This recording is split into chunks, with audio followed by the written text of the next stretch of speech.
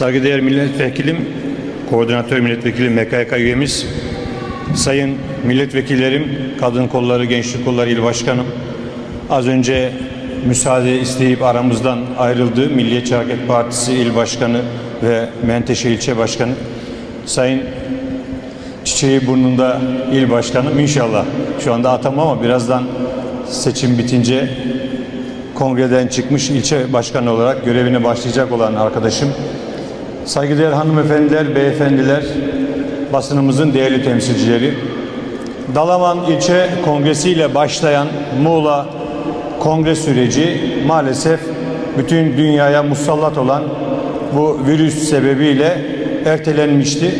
Bugün Allah'ın izniyle Menteşe ile tekrar kongre sürecimize başlıyoruz. Yarın Köyceğiz'deyiz ve Allah nasip ederse Eylül ayı içerisinde de Muğla'nın bütün ilçelerinde kongrelerimizi bitirmiş olacağız. Sayın Milletvekilim Divan Başkanımın da belirttiği üzere biz sadece delege olan arkadaşlarımızı kongreye davet ettik. Bu pandemiden dolayı tedbirlerimizden dolayı. Eğer aksi olsaydı inanıyorum ki siz saygıdeğer AK Parti'ye gönül vermiş olan arkadaşlarım bu salonu hınca hınç doldururlardı daha önce de yaptığınız gibi. Arkadaşlar bu partinin eskisi, eski yöneticisi, eski ilçe başkanı, eski il başkanı diye bir tabiri yoktur.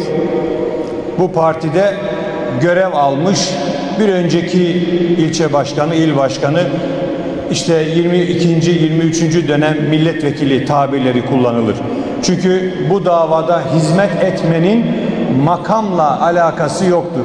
İlla bir makamda olmak gerekmiyor. Bu davaya hizmet etmek için ister sadece bir üye olun, ister sandık müşahidi olun, ister mahalle başkanı olun, ilçe yönetim kurulu üyesi, il yönetim kurulu üyesi olun. Gerçekten aynı şuurla hizmet etmenizi gerektiren bir dava bu. Onun için şu anda aramızda olan veya olmayan bütün eskiden görev almış olan ilçe başkanlarımı, il başkanlarımı bir kez daha huzurlarınızda saygıyla, sevgiyle selamlamak istiyorum. Bizler de gelip geçeceğiz. Biz de bir gün bir önceki dönem il başkanı olarak adlandırılacağız. Dolayısıyla bunun şuurunda hizmet ediyoruz. Bu ışık altında hizmet ediyoruz ve böyle de davranmaya devam edeceğiz. Arkadaşlar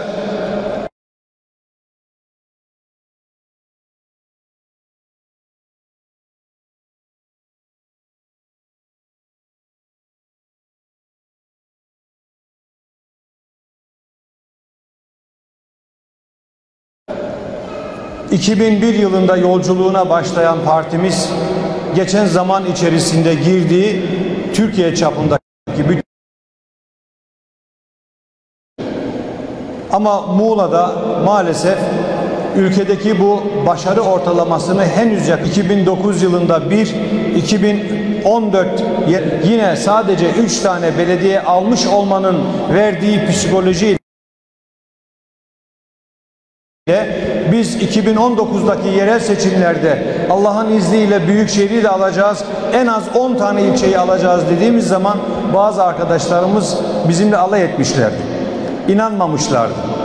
Ve biz 2019 yılında girdiğimiz yerel seçimlerde Cumhur İttifakı'yla beraber 13 olan ilçenin ilçe sayılarının 7 tanesini yani çoğunluğunu alma başarısını elde ettik.